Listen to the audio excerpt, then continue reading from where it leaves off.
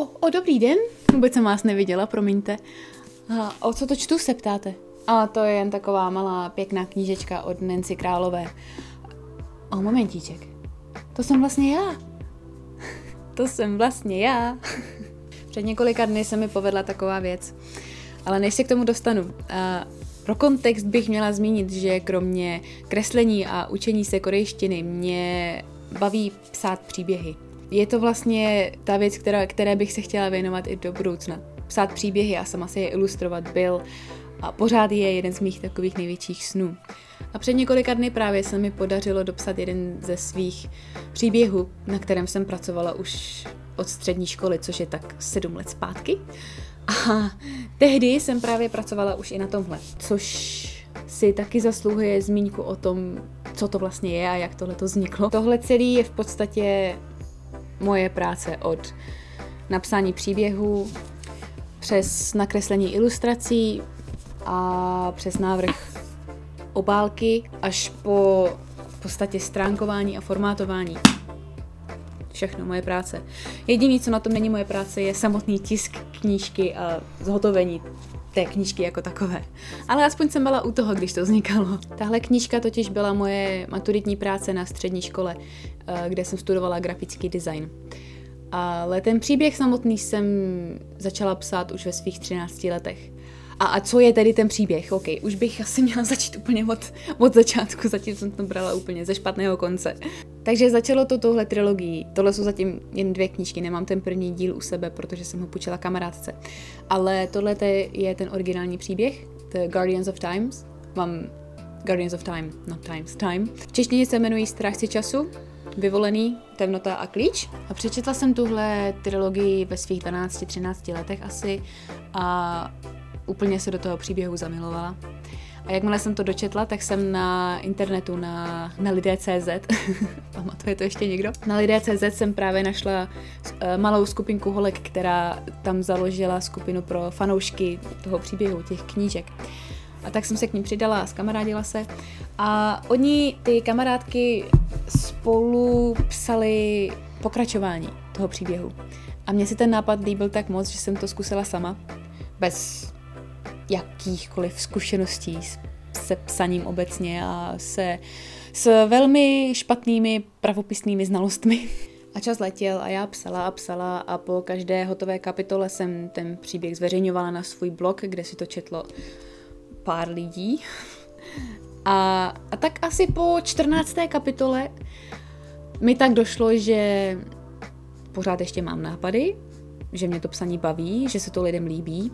A tak bych možná mohla vymyslet třeba, já nevím, mm, hlavní zápletku toho příběhu, nebo o čem to vůbec bude a takový detaily, že jo.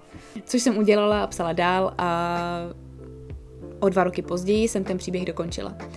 To mi bylo 16 a byla jsem na konci druháku na střední a tehdy jsem právě dostala ten nápad, že bych ve čtvrtáku mohla z toho příběhu udělat svou maturitní práci. Tedy nailustrovat ty knížky, udělat design, uh, obálky a celou tu knížku navrhnout v podstatě a nechat ji vytisknout.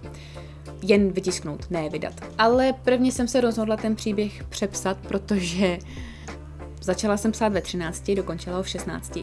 A mozek 13-letý holky a 16-letý holky funguje trošku jinak. A v podstatě nebyla jsem spokojená s tak minimálně první půlkou toho celého příběhu. Takže jsem se rozhodla to přepsat, což mi trvalo asi další dva roky. Vlastně si pamatuju, že jsem to přepisování dokončila někdy koncem ledna, když jsem byla ve čtvrtáku. A na zbytek té knížky, na ilustrace, návrh obálky a tak dále a tak dále, v podstatě na tu nejdůležitější část té maturitní práce, mi zbývaly asi tři nebo čtyři měsíce do konce odevzdání prací. No zkrátka mi hořel koudel u pozadí docela. Ale ve finále to dopadlo dobře, práci jsem odezdala včas, práce se líbila, byla jsem hvězda. Strážci času je příběh o mladých hrdinech, kteří mají různě nad, různé nadpřirozené schopnosti. A strážci času jsou členové takzvané organizace, což je v příběhu ta dobrá strana. A na té zlé straně stojí řád chaosu. A v čele každé strany stojí jeden nesmrtelný, kteří jsou ve skutečnosti sourozenci a bojují, bojují spolu po staletí už. A Laténie, která vládne řádu chaosu, jednou právě přišla na to, že když si pohraje s historií a zabije například nějakou významnou historickou postavu dřív, než měla skutečně zemřít a než například vykonala něco, nějakou významnou událost v dějinách, tak se chod celé historie změní v Laténien prospěch, nebo může se změnit v Laténien prospěch. A tak Laténie začala posílat do historie své vojáky, kteří měli splnit nějaký úkol, který jim Laténie zadala. A strážci času, ta dobrá strana, jsou právě do historie posíláni taky, aby těmto úkolům zabránili a aby, aby se ujistili, že chod dějin bude probíhat tak, jak už jednou proběhl. Hlavní hrdinové příběhu tedy trénují své zvláštní schopnosti, jak je nejlépe využívat a také zlepšují své dovednosti v boji s i bez zbraní. A postupem času se přidávají nové a nové postavy, mezi některými samozřejmě probíhá i nějaký love story. A dějí se díl za dílem postupně dramatizuje a vyvíjí k velké závěrečné bitvě mezi organizací a řádem. A pak přichází na řadu tohle mimino. Teda měla bych vlastně poznamenat, že dnes už máme oficiální čtvrtý díl. The Shadow, ale ještě není český překlad, pokud si to pamatuju dobře. Tenhle díl vyšel v roce 2018, je poměrně, poměrně nový. A ten třetí díl, Klíč, vyšel v roce 2005, tuším. Je tam obrovská mezera. Uh, to proto, že autorka těch knih, Marian Carly, když dokončila ten třetí díl, ona chtěla pokračovat ještě dál, chtěla napsat ten čtvrtý díl, ale bohužel měla velké zdravotní problémy a tak musela to psaní zastavit. A tak jsme do roku 2018 měli jenom trilogii a spoustu neoficiálních fanouškovských pokračování, jako to moje.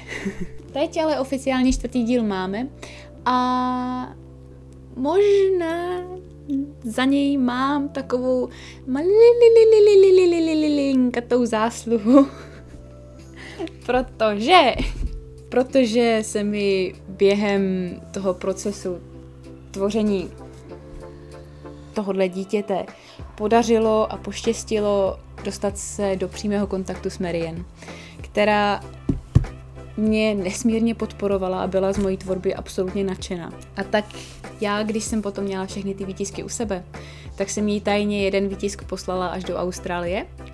Načež mi ona následně v e-mailu napsala toto. Your letter moved me to tears. I can't thank you enough for those lovely words. I feel honored to have inspired you to become a writer, and I am honored to be your friend. I love that I have a copy of your book It inspires me to write the fourth book for myself, which I am just about to start.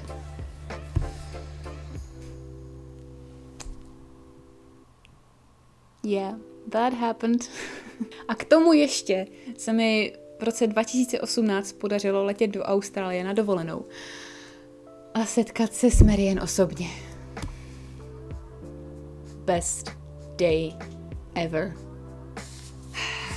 Takže ano, tohle dítě byl můj začátek mé psací tvorby a u kterého jsem následně zůstala a chtěla bych zůstat. A ten příběh, který jsem zmiňovala na začátku, že jsem ho zrovna dopsala, už není fanfiction, je to můj originální příběh, do kterého jsem vložila celé své srdce. Měla bych na závěr přečíst nějakou ukázku? Hmm. Hmm. Mm, mm, mm, mm. Snad po celém těle cítím bolest z řezných ran na obličeji od střepů, z naražených míst a asi i zlo- ze zlomených kostí. A nejhorší je, že to vůbec nepřestává. Autobus se stále kutálí dál dolů a já nepřestávám narážet do sedaček, do stropu i podlahy a také do lidí. Tříštící se sklo, deformující se kov, plačtivé výkřiky plné bolesti. Slyším i hlasy svých přátel, ale zdají se mi příliš vzdálené, jako bych se tím točením dostala do přední části autobusu. Vůbec nevím, kde jsem. Autobus se konečně přestává točit, ale se trvačností jede po jedné straně ještě několik metrů dál. Zůstávám ležet z části opřená o strop autobusu v ledové vodě. Cítím, že pod mýma nohama někdo leží a snaží se dostat do takové polohy, aby neměl tvář ponořenou ve vodě. Nikdo toho však není schopný a jeho osud závisí na rychlé pomoci, protože autobus se stále plní vodou a, spolu, a spoustu omráčených kolem mě jsou z velké části. Někdo dokonce i celým tělem pono... Ty vole, Nancy, co je to za větu? Někdo toho však není schopný a jeho osud závisí na rychlé pomoci, protože autobus se stále plní vodou a spoustu omráčených kolem mě jsou, kolem mě jsou z velké části, nebo dokon, někdo dokonce i celým tělem, ponořeni v ledové vodě a hrozí jim utopení. Uh, to je dlouhá věta. Já sama... ok, končím.